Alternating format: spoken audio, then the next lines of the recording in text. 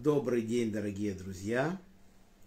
Мы продолжаем нашу недельную главу, которая называется Вайра. И в конце главы очень важная вещь. Написано, что у Авраама есть брат Нахор, мы его знаем из главы Наах. И вот написано, что его жена Милька родила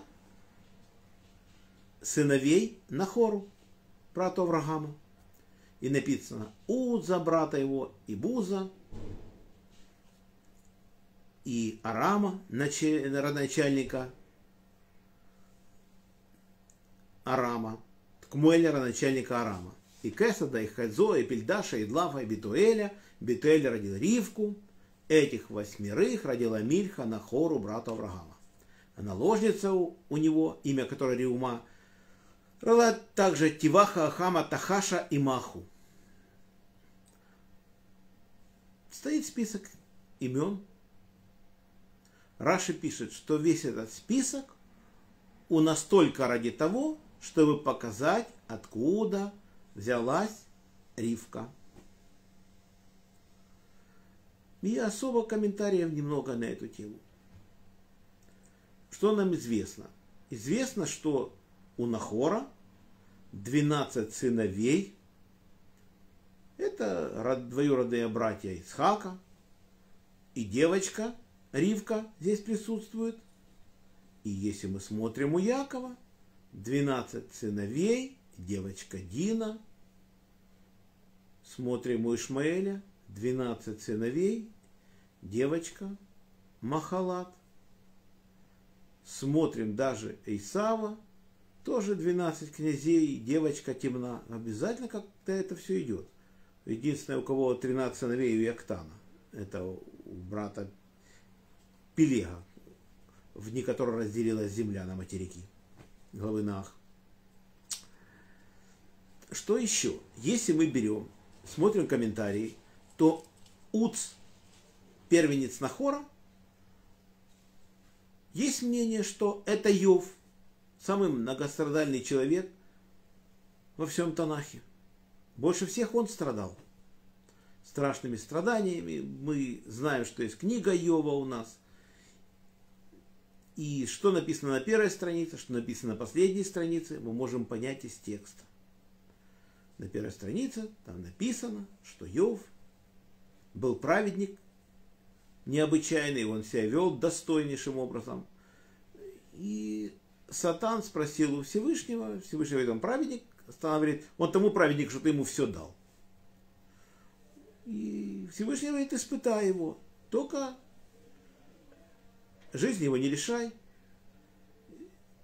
Он взял и забрал его имущество, напали преступники, забрали стада, бандиты, в общем, ничего нету. И детей у него не стало. Погибли его дети, которые собирались всегда, в общем, все было хорошо, ел за них жертвы, чтобы ничего плохого, э, случайно ни какое-то слово не сказали. В общем, он старался, все, своих детей, все хорошо, и тут остается без ничего. И он, нет, Всевышний есть Всевышний, ничего его отношение ко Всевышнему не поменялось. Всевышний говорит, ну как, видишь? А Сатан сказал, это потому, что ты его не тронул. Говорит, Всевышний, тронь его, только жизни не решай. Сатан тронул, он больной, какие-то у него появились нарывы на теле, он сидит в пепле весь, шкребком сдирает все эти нарывы, страдания сумасшедшие. Жена ему говорит, прокляни Бога и умри. Так же невозможно жить. Он говорит, что Всевышний дал, Всевышний взял. Да будет имя Всевышнего благословенно и он много страдает. Потом написано, что пришли к нему три друга, три мудреца Торы, и пытается с ним беседовать. И вообще неделю с ним молча ничего не говорили, потом начали с ним беседовать. И мудрецы, они непростые люди. Одного зовут Элифас Тайманитянин, второго зовут Белат Шухиянин, и третьего Сафар Анаматянин, Наманитянин, Наматянин, так его зовут. И они беседуют, беседуют там серьезные, очень идут разговоры. Все понятно, что они говорят, но, но сложить это и сообразить это на, не знаю, каким, какого человеком быть, чтобы все это сложить вместе и разобраться в этом всем. Все они говорят правильно. Йов со своей стороны отвергает. Они и так, и так, и так, и так. И целая книга, невероятная беседа, очень умная. Заканчивается тем, что он прошел это страшнейшее испытание, и Всевышний ему все вернул, и опять дети у него появились, и стад у него в два раза больше. Всевышний ему еще подарил 140 лет жизни. В общем, невероятная личность, очень долго он ему дал жить, в то время уже столько людей не жили. И если он родился первенцем у Нахора, а мы знаем, что похороны были когда мы уже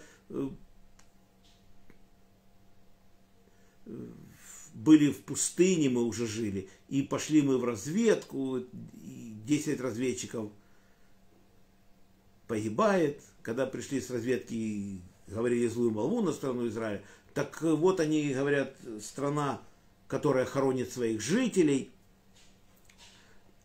В общем, и Мидраш пишет, что это и были похороны Йова, вот тогда он умер. Всевышний не хотел, чтобы мы нападали на Кнан, пока уже не станет, чтобы Йов умер спокойной жизнью, он не хотел, чтобы он страдал.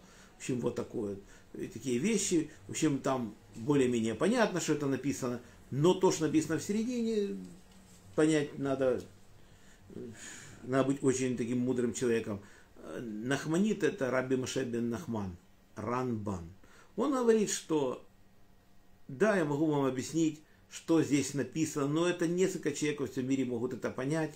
Вот так вот говорит. Так что это остается для нас скрыто полностью значение всей этой беседы. То есть очень умный. Вот такой это Уц первенец Нахора.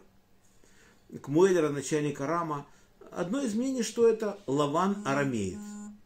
Но мы можем сказать, ну как это написано, что Битуэль родил Лавана и Ривку, естественно. И как же так? Да, есть такое мнение, что Битуэль был старшим братом, не так он там стоит восьмым младшим. И он усыновил своего брат, младшего брата Кмуэля. Вот и Кмуэль арамеец, вот это Лаван арамеец. Есть комментаторы, которые говорят, что это Северная Армения, что они как бы армяне были, вот такое вот. То есть так, такие вещи есть. И из этой семьи происходит Ривка, и из этой семьи произойдут у Лавана девочки, все четыре его дочки, Лея, Рахели, Бильга и Зильпа, только не от жены, Лея и Рахеля, Бильга и Зильпа от наложниц. В общем, вот такие вещи мы видим из этого отрывка. Из этого отрывка видим животное, это есть такой тахаш, единорог цветной кожи, с которым мы шкур которых мы строили в храм пустыни, что-то красивое было. И тут имя одного из сыновей Нахора, тоже Тахаш, есть такое. Есть где-то встречаются эти имена, но особо комментариев особых нет. Но нам это важно, чтобы понять, откуда взялась Ривка. То есть то, что сделали Авраам и Ицхак, то это просто невероятно. Так, так это сработало, что Всевышний как из земли сделал Ривку. То есть в семье злодеев Битуэля, Лавана рождается невероятной чистоты ребенок, ее зовут Ривка.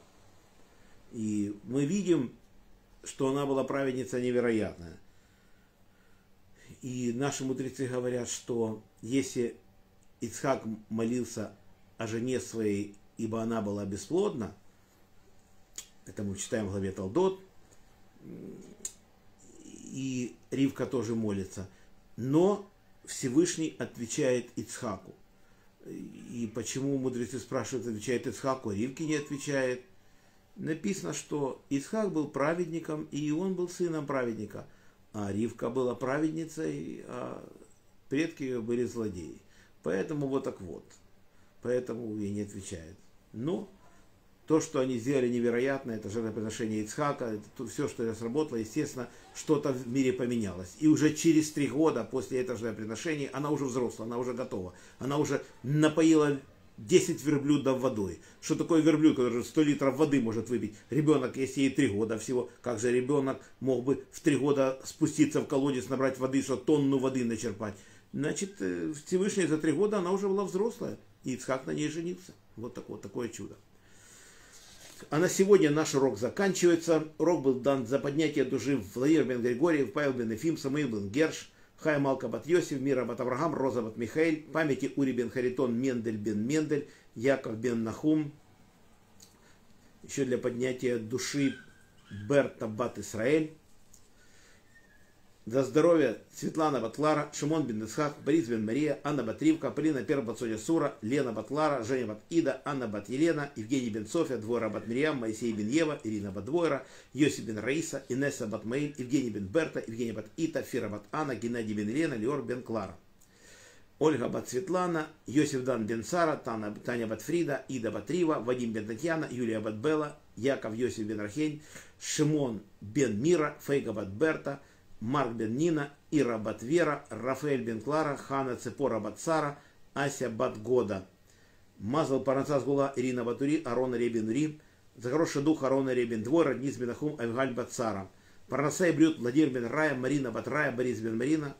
Всего хорошего Олегу Марченко. Всем браха Парнаса Кавана, мазал то, что мы это время не грешили читали Тору. Всем всего самого наилучшего, крепчайшего здоровья. Пусть война это закончится, и чтобы все у нас было хорошо. И до следующих встреч. Надеюсь, встретиться завтра в 10.40. Шалом.